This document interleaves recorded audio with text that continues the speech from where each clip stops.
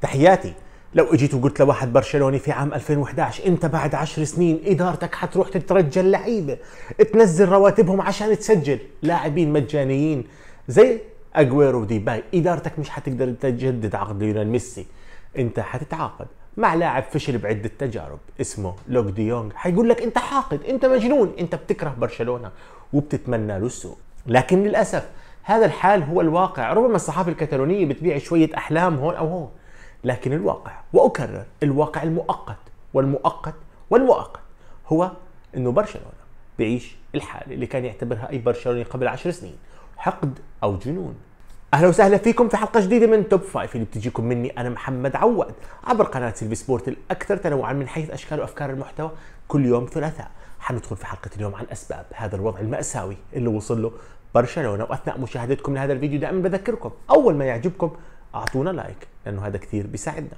في عام 2011 كانت كرة القدم هون وبرشلونة في طابق لوحده في العالم عم بفوز بدوري الأبطال بسهولة بفارق مستوى رهيب عن الجميع ما كان حدا يسترجي.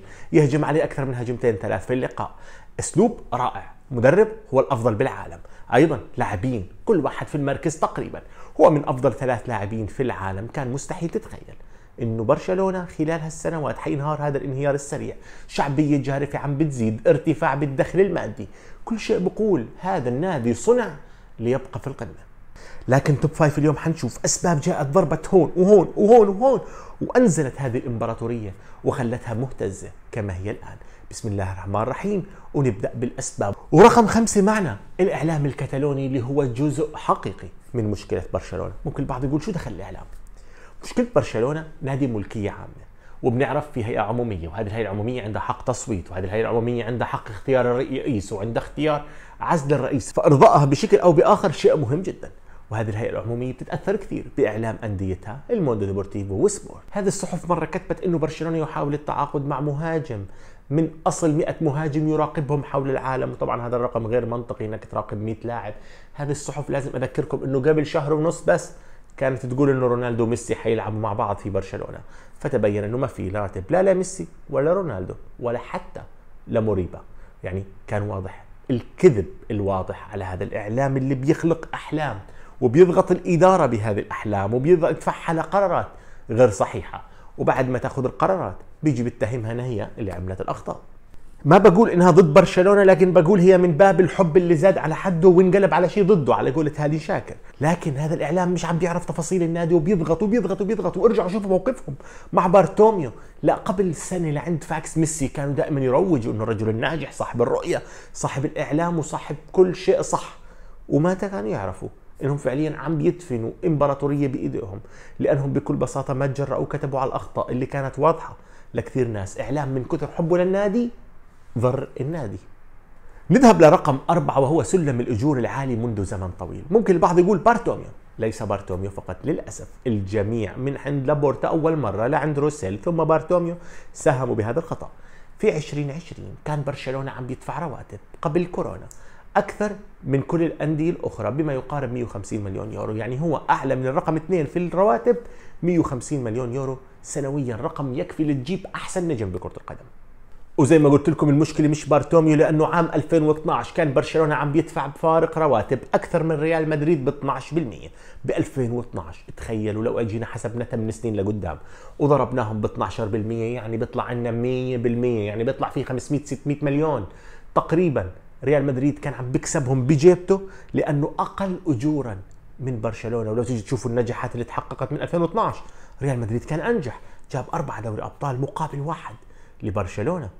مشكلة هذه الأجور خلت إدارة برشلونة تستغني عن أهداف كانت مميزة موجودة بالسوق لأنها مش قادرة تتحرك. خلتهم يهملوا لماسيا وخلتهم أيضا مش قادرين يتخلصوا من اللاعبين اللي عندهم بسهولة.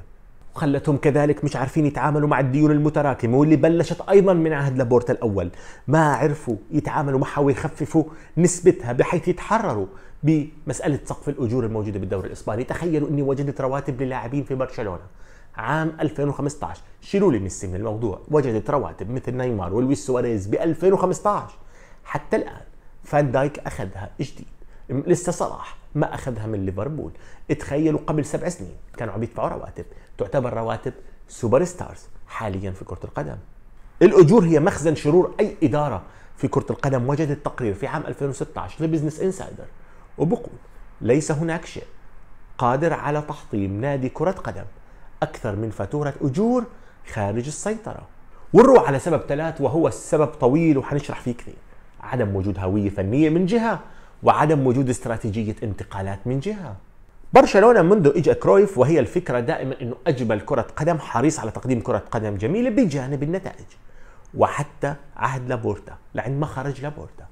أصبحت الإدارة اللي بعد لابورتا إدارة غير مهتمة كثير بمسألة الفنيات والقيمة الفنية لكرة القدم كل اهتمامها نتائج ونجاحات. جماهير بتيجي وعقود رعاية كانت تعتقد إنه هذا يكفي. المشكلة في غياب الهوية الفنية الثابتة للفريق والشكل الواضح للفريق مش إنه والله ما عاد برشلونة ممتع بس بل بالعكس إنه حيصير عندنا مشكلة ثانية باللاعبين. تذبذب مستواهم كبير جدا لأنه كل يوم أسلوب كل يوم منظومة والمنظومة بتأثر على مستوى الأفراد. هذه معادلة ثابتة في كرة القدم. كل مدربي برشلونة بعد جوارديولا كانوا فاقدين للخيال، كانوا فاقدين للإلهام، كانوا فاقدين أيضا لفكرة الشجاعة ببعض الأفكار وحتى بعض المواهب اللي تندفع، كانوا كلهم بدهم يماشوا الإدارة الموجودة، يلا نجيب نتائج خلصونا. وهذا أدى إلى فقدان مستمر لهيبة برشلونة في أرض الملعب، الفريق اللي لما كنت تلعب ضده أيام جوارديولا تدعي ربك إنك تخسر هدفين وثلاثة وتطلع مبسوط. خاض مباراته الأخيرة مع بايرن ميونخ وهو خايف من إنه يخسر خسارة كبيرة وكان كأنه يبحث عن خسارة قليلة. هذا من, ناحية الهوية الفنية لكن بنفس الوقت هذا الغياب. كان عم بيخلق مشكلة ثانية استراتيجية انتقالات سيئة.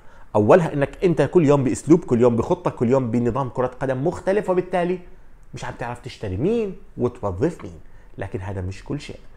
إدارة برشلونة كانت سيئة جدا في مسألة اصطياد المواهب بالسنوات الأخيرة. بالفترة اللي ريال مدريد كان عم بصيد فيها فاران أسينسيو كاسيميرو وأسماء. كانت إدارة برشلونة تروح تجيب ألكسندر سونج تروح تجيب لاعبين معروفين أسماء معروفة الإعلام بيضغط عليها هم بيروحوا يشتروها. يشوفوا إيفان راكيتيتش بيجيب دوري أوروبي يلا نتعاقد مع إيفان راكيتيتش لاعب جيد.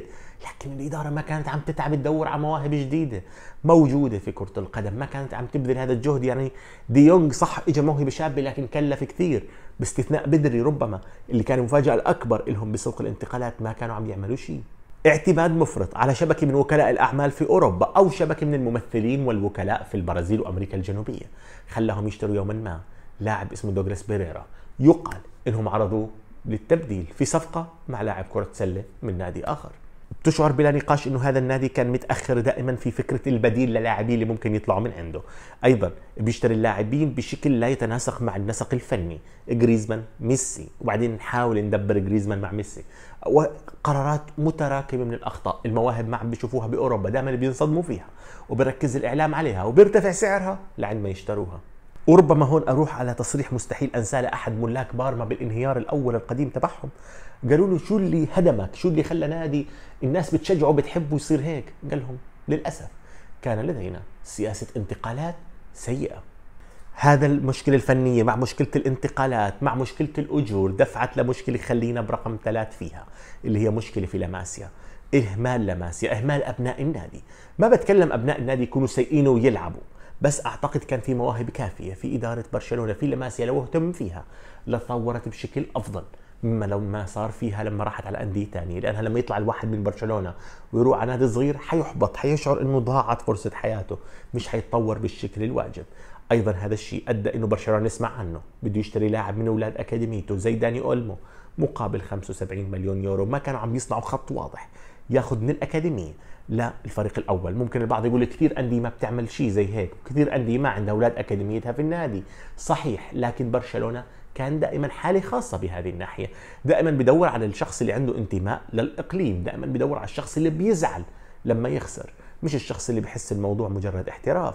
يعني هوية برشلونة كانت تفرض عليك الاهتمام بلماسيا وتعالوا نروح على رقم اثنين. وبتمنى تركزوا معي فيه كثير كثير كثير حتى ما حدا يفهمني غلط. رقم اثنين من أسباب انهيار إمبراطورية برشلونة الاعتماد المفرط على ليونيل ميسي. شو بتحكي؟ أنت بتكره ميسي؟ أنا بحب ميسي وبعشق ميسي. لكن بعشق المصارعة كمان زي ما بتعرفوا مع إنها تمثيل. قبل عام 1998 كانت في شركة مصارعة اسمها WCW وكانت مسيطرة تماما ومنتصرة جدا على الشركة اللي بنعرفها الآن WWE كان في فارق كبير. لكن تلك الشركة كانت عم تنجح وعم تتفوق. نتيجة وجود مجموعة اسمها New World Order تبيع أكثر مبيعات تيشرتات تذاكر بجنون. الشركة عم تنتصر وعم تهزم منافستها نتيجة هذه المجموعة ال group الشرير اللي الناس بتحبه رغم إنهم أشرار لأنه كان يقودوا طبعا هولك هوجان شوي شوي هذه ال group شافوها بتربح. صاروا يخلوها تتوسع. صاروا يخلوها تدخل بالسيناريوهات بشكل مفرط. أفسدت في النهاية. متعة WCW ما عاد في إثارة ما عاد في مفاجأة. أفضل الأفضل مع فريق واحد وكلهم أشرار. بغشوا بينتصروا. صار السيناريو عم بصير بارد. فالناس هربت على WWE فوجدت مصارعين جداد ستيف أوستن ذا روك وبالتالي انسجموا هناك. وتم انهيار WCW لحد الآن اللي بيعرفوا بالمصارعة بيقولوا كانت ال NWO هي سبب النهضة وسبب الانهيار. طبعا ميسي ليس هو السبب عشان أوضح. ومستحيل يكون السبب ومستحيل يكون وجود ميسي بفريق إلا مفيد. لكن الخطأ كان من اللي فكروا باستخدام السلاح بشكل غلط. إدارة برشلونة اللي بالغت بالاعتماد على ليونيل ميسي. صارت تتعامل مع صفقات الانتقالات أي شيء. جيب ديمبلي وديه يسار مع إنه ديمبلي بيعرف يلعب على اليمين. طيب مكان ميسي يمين. معلش معلش وديه على اليسار وميسي بدبره بمرر له. ميسي فوزنا ميسي بنصرنا. مش مشكلة الدفاع. طيب الظهير الأيمن مش مشكلة مش مشكلة. ميسي على اليمين. فبالغوا برمي كل شيء على ميسي. فبدأ الفريق ينهلك. من اليمين لليسار للقلب للهجوم. بالغوا بالاعتماد على هذا الرجل صائد النتائج. مبالغة لمستوى. لو قلت لهم خذوا محمد عواد يدركم يقولوا أوكي ما هو ميسي معنا. بيوصل الكرة لميسي والأمور بعد ذلك خالصة. صار ما عندهم مشكلة. الصفقات تفشل لأنه في لاعب عم بفوزهم في لاعب عم بيمشي الأمور وعم بيحمل الحمل عن الكل. وفوق كل ذلك لما شافوا قوة ميسي تنامت اللي هي بسبب إهمالهم أرادوا محاربته فقسموا الفريق إلى فرق. انشقت الناس جوا بعض وتوتر كبير. ما بينهم ما بين ميسي في الإعلام وصل. خلى الأجواء سلبية خلى الجميع يتراجع خلى الكل مش عارف يركز. بكرة القدم. ميسي كان كنز. برشلونة فشل باستغلال آخر سنواته وكان يمكن البناء عليه لمرحلة ذهبية مقبله بلا منازع. ونروح على سبب واحد وهو بلا نقاش. إدارة بارتوميو وليس بارتوميو وحده. ربما دخل التاريخ لأنه جاب ثلاثية 2015 لكنه دخل التاريخ بشكل آخر. إنه الرئيس الوحيد اللي أفسد كل شيء بكل النواحي. رياضية إدارية تسويقية إعلامية كل شيء عمله. كان غلط وبامتياز. رجل كثير من قراراته كانت متأثرة بال social media والإعلام بده يرضي الكل بده يحس حاله محبوب. الشباب زعلوا من فالفيردي خسرنا كأس سوبر بس متصدرين. لا لا لا اطردوه. مع إنه كان لازم ينطرد ربما بالموسم اللي قبله. وبتروح على شيء آخر صفقات. اللي بده إياها الجمهور كوتينيو بديل إنيستا. يلا جيبوا لهم كوتينيو. ديمبلي هو نيمار. يلا جيبوا لهم عثمان. الموضوع صار كما يطلبه المشاهدون معاه عشان يكسب المد الشعبي والهيئة العمومية بالتصويت. والجماهير تضل معاه تمام. أيضا كان ضعيف الشخصية في المواقف الصعبة. حالة رعب عم بيعيشها لما اتاخذ نيمار. عادي راح okay. أعطوك 220 مليون يورو 220 مليون يورو في كرة القدم. وبذلك الموسم ربما كان بإمكانهم يشتروا ثلاث أربع لعيبه مميزين superstars ليومنا هذا بيخدموا الفريق. لو اندفعوا صح راحت الفلوس اندفعت غلط. ومش بس دفعوا 220 دفعوا أكثر. دفعوا ما يقارب 300 مليون يورو بعثمان ديمبلي وكوتينيو وأعطوهم رواتب عالية فوق ذلك. رجل بتصرف دائما شوي بي يعني بتسرع بشيء غريب. رجل بتصرف بدون ما يستشير إدارة فنية بجيب صفقات واضح مش راح تركب. رجل أسوأ ما في شيء يعمله إنه جعل برشلونه من الداخل ثلاثة أو أربع فرق. فريق ليونيل ميسي والنجوم القدامى فريق اللاعبين الجداد فريق ايجنسيز عين وكالات عم بتهاجم اللاعبين بشكل صريح وبشكل مش طبيعي عم بيحاولوا يشوهوا سمعة ميسي. وأيضا خلى الإدارة نفسها تنقسم على نفسها وخلى الإدارة الفنية بعيدة عن الإدارة. جعل الفريق كثير منقسم من الداخل. أنا من الناس اللي بحب سلسلة أفلام مارفل وفي لقطة ربما بكابتن أمريكا اللي هو Civil War الحرب الأهلية في لقطة للشرير اللي هو شرير بلا اي قوة خارقة. مثل بارتوميو بدون أي قوة خارقة لكنه كان مركز على المبدأ واحد إنه يخلي الأبطال يتطاوشوا مع بعض ويكون الانقسام من الداخل وقال كلمات جميلة بترككم بحها An empire toppled by its enemies can rise again. But one which crumbles from within, that's dead. Forever. بارتوميو شق الصفوف خلى هذه الأمة تسقط من الداخل الرجل تعامل بغباء غير طبيعي فيما يتعلق بالأجور مكافآت فلوس بطريقة غريبة جدا وكأنه بيصرف من جيبة أبوه حرفيا. الرجل أيضا أخذ الموضوع شخصي مع ميسي حاول يطرد وكان عنده غيرة واضحة من ميسي بآخر السنوات. هذا خلق قلة انتماء للجميع. إذا ميسي بتعملوا معاه هيك شو راح تعملوا معنا؟ كان هو الضربة القاضية. الإمبراطورية كان فيها أخطاء هون أو هون لكن هو جاء وأخذ الأخطاء لمستوى آخر فأدى إلى الانهيار اللي إحنا شايفينه الآن. لكن أنا ببشركم أنا كشخص متابع وبحضر كرة قدم حاسس برشلونة ما حيطول هيك. سنة سنتين أمور رح تتحسن. كثير أشياء بتمنع إنه برشلونة ينهار تماما كثير أشياء بتمنع إنه برشلونة يختفي أو يبعد كثير عن كرة القدم. أولها إنه هذا النادي عنده شعبية هائلة هذا النادي عنده ملعب لوحده. أول ما يرجع الجمهور حيدفع مصاريف النادي لوحده.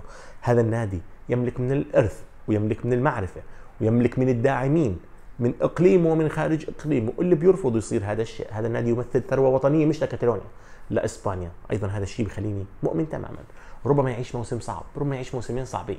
لكن قريبا حنعيش لحظة نقول فيها برشلونة يتوج بلقب الدوري أو لقب دوري الأبطال. زي ما حكيت الموضوع العوده أنا حاسه مؤكد. ربما يتأخر سنة أو سنتين بس. نوصل هون لنهاية Top Five. بذكركم تتركوا like على هذا الفيديو ودائما تتابعوني. أنا محمد عواد موجود فيسبوك تويتر إنستغرام. والسلام عليكم ورحمة الله.